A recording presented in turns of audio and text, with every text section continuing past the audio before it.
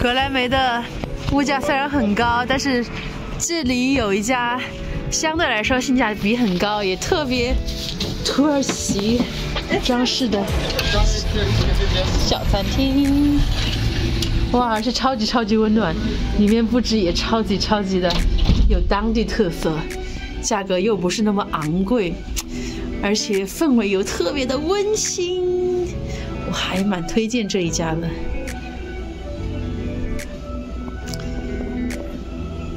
哎，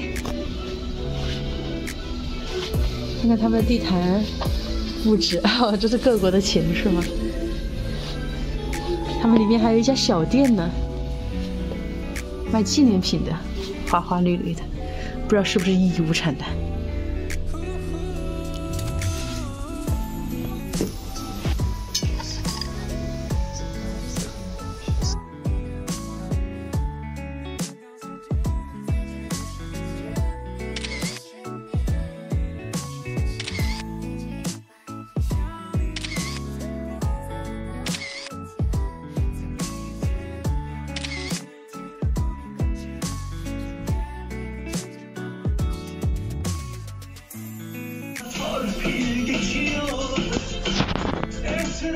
他告诉我，这个是非常在俄罗斯非常有名的一位土耳其歌手。我今天在山谷祈祷了，明天最好是可以看到热气球。哇，不知道我的祈祷有没有？看，这是谁？哎呦，门口有只猫。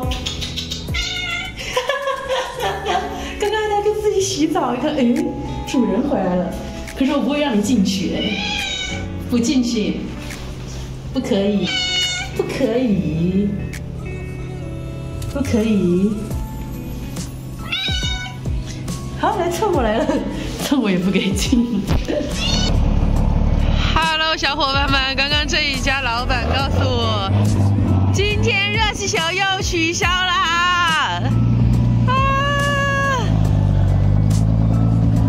今天天气还挺好的，你看还有月亮。他说雾气还是太大了，我去，又是错失热气球的一天，前方大雾迷蒙。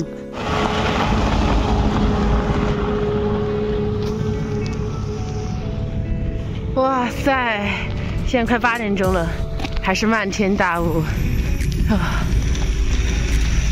没有缘分啊，这次和热气球。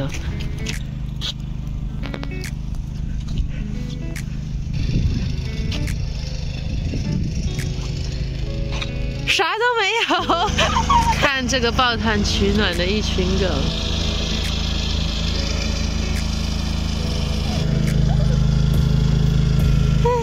OK，OK，OK，OK，OK，OK。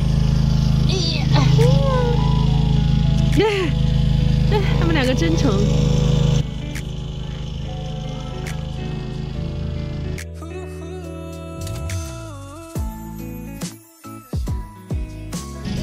刚刚打碎了哪一对情侣的许愿瓶，实在是对不起了，对不住了，不知道是谁的。Selina Arch，高的，帮他那个叫啥，只能勉强拼接一下了，对不住了。气球无果，看爱情谷也无果，因为漫天大雾。往回走的时候，突然出现了热气球，只有五个，这样也可以。所以我的运气还没算全部用完是吗？已经用完了，就是上天说好吧好吧，怎么样也给你看一眼热气球吧。哇，下雪了！我在土耳其的热气球圣地卡帕多奇亚，我已经从山顶石城乌齐西萨尔来到了谷底石城格雷梅，现在就是住在这一个石柱城之中。飘雪的卡帕托奇亚，啊！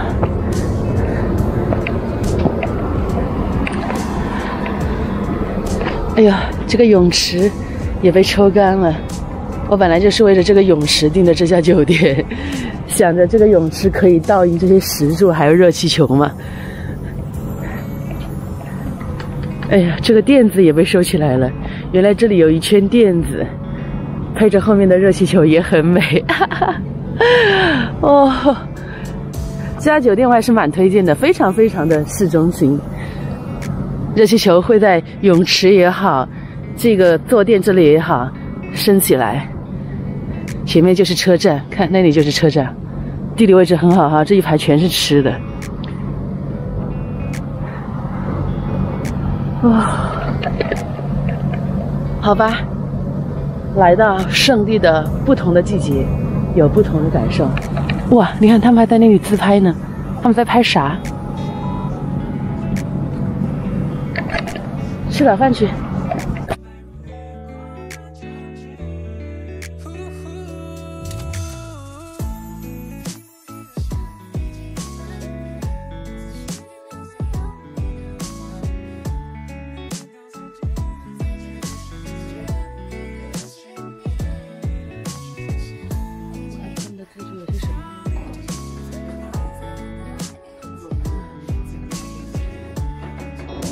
还是蛮丰富的，性价比很高，因为这一住房。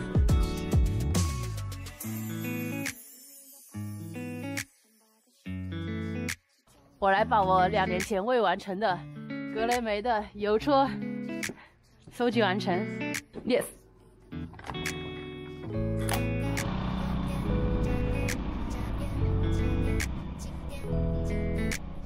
哇，再见了，卡巴多奇亚。我去，这么好的天气，没有热气球，你们为什么不在傍晚放呢？走啦，走啦。